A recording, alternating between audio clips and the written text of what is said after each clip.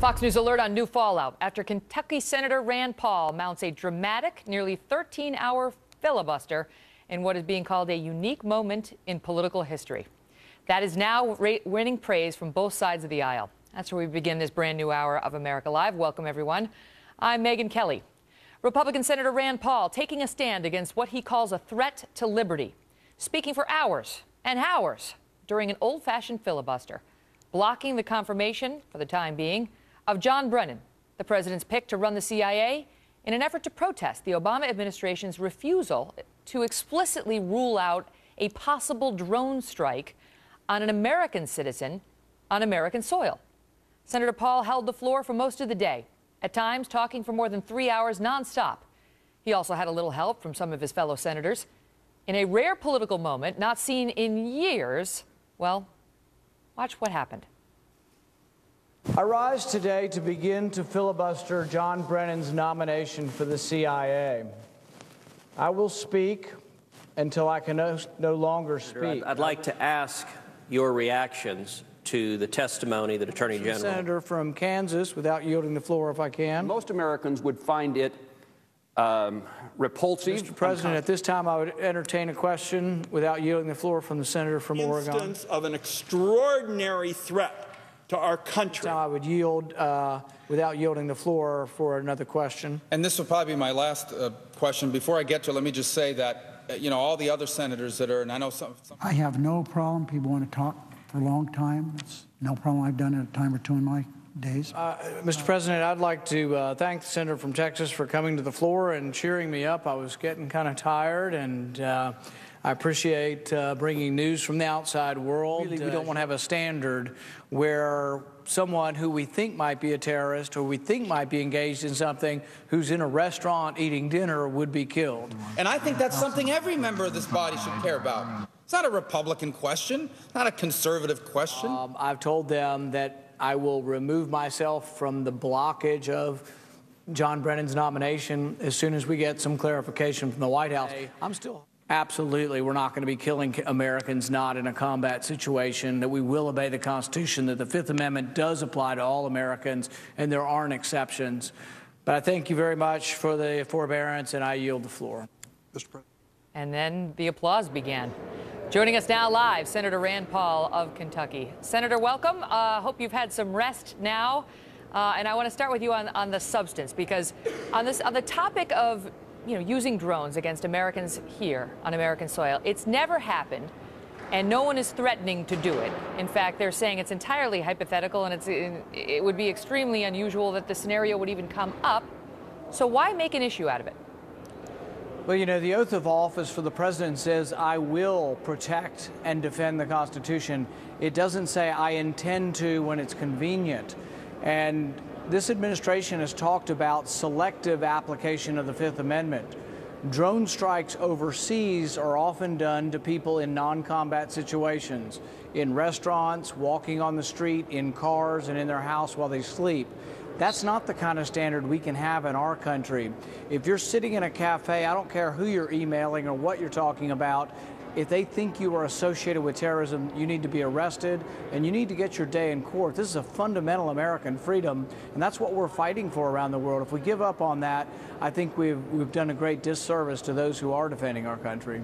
But there's a distinction between killing terrorists affiliated with Al Qaeda who want to kill us overseas with drones and killing Americans. And the only American we've intentionally killed with a drone overseas is Anwar al Awlaki and there was quite a bit of evidence about his willingness and operational planning to kill Americans. Um, and, and, in that instance, the president had announced that, uh, and people had filed lawsuits about it, and so on. It, you know, and so it, it was a, it, it wasn't some secret plan to kill an American here on American soil using a drone.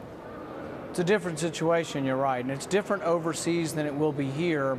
It's different in the battlefield than it will be here, which gets precisely to the argument I have with some other Republicans who say, well, the battlefield is everywhere. There is no limitation. President Obama says this. Some members of my party say the battle has no geographic limitations and the laws of war apply.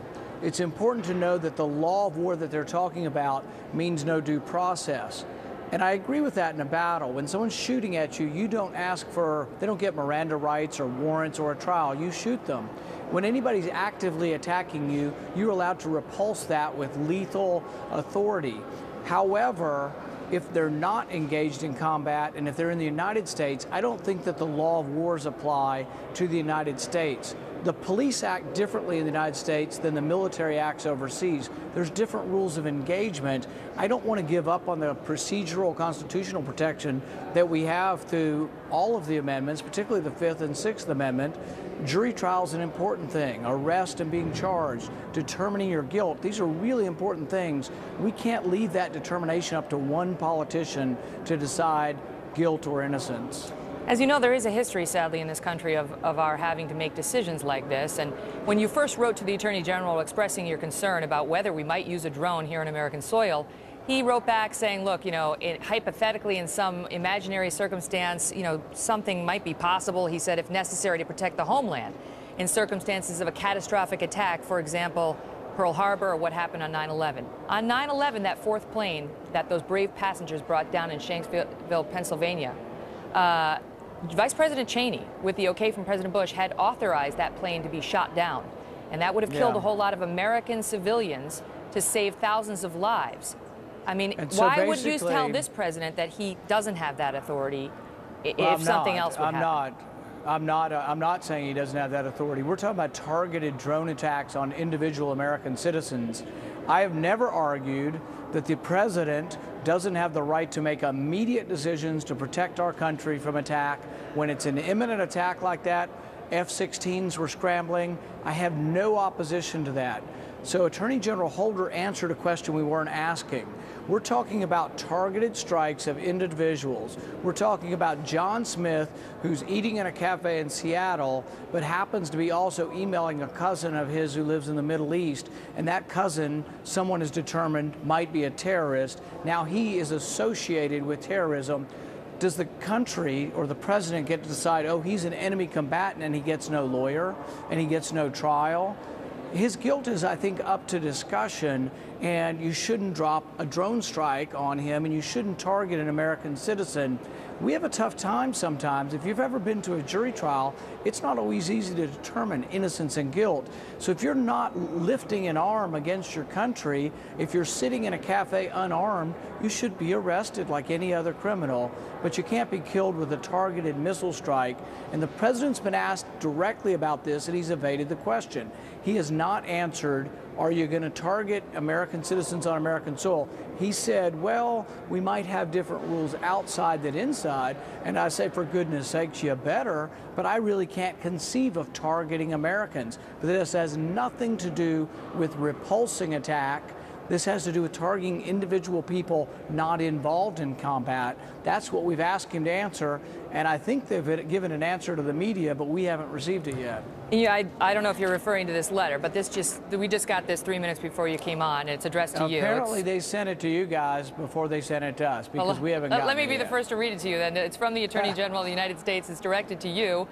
And it says, Dear Senator Paul, it has come to my attention that you have now asked an additional question. Does the president have the authority to use a weaponized drone to kill an American not engaged in combat on American soil? The answer to that question is no. Sincerely, Eric Holder. Hooray! For 13 hours yesterday, we asked him that question. And so there is a result and a victory.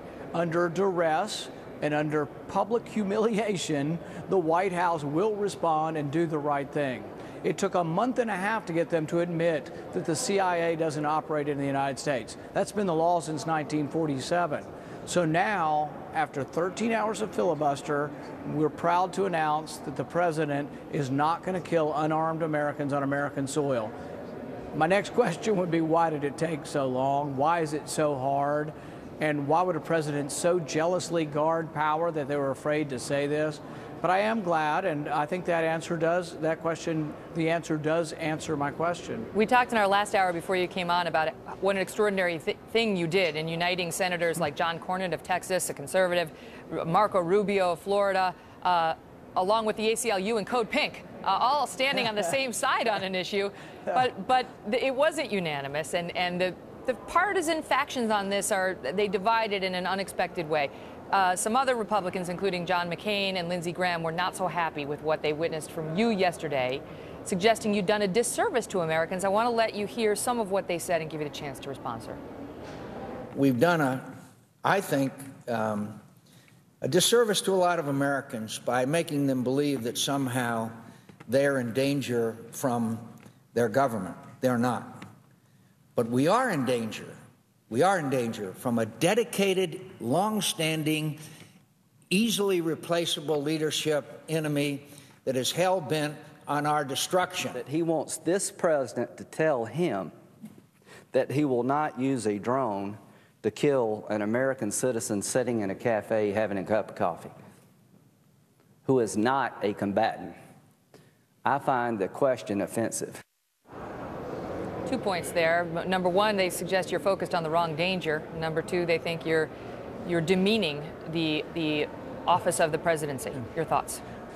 The reason the question is asked is precisely because of the theories behind Senator McCain and Graham's logic. They think the whole world is a battlefield, including America, and that the laws of war should apply. The laws of war don't in, involve due process. So Senator Graham has been very explicit on the floor to say when they ask you for an attorney, you tell them to shut up. That's not sort of my understanding of the way America works. It's not the way it un- uh, I understand when an American would be accused of a crime that they would tell them if you want a lawyer to shut up. So I don't think the laws of war apply to America. I think the Bill of Rights do, and I think it's a disservice to our soldiers that we have senators up there arguing that the Bill of Rights aren't important. This was a very serious question. It was a question that took me a month and a half to get an answer to.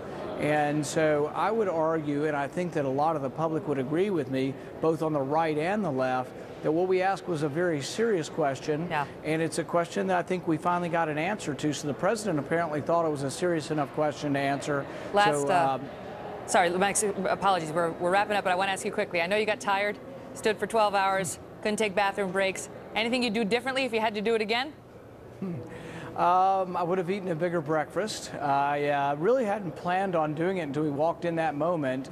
And you never know whether the floor will be open. Usually, the floor is sort of held captive by the majority party, and they won't let you get up there and talk. They'll let you talk for specified times. So I was fortunate that the floor was open and that I had an issue I cared passionately about. And I think it's a good idea for the country to have a real debate sometimes about does the Bill of Rights apply? Some of the questions aren't easy. This Yeah. is about terrorism too. So does the Bill of Rights apply and when does it apply is a really significant question. Well, it's a good thing you had that uh, that candy desk, little known candy desk in the U.S. Senate and the Milky Way candy bar. Senator, thank you so much for being here. Mr. Rand went to Washington, everyone. Mr. Paul. Hmm.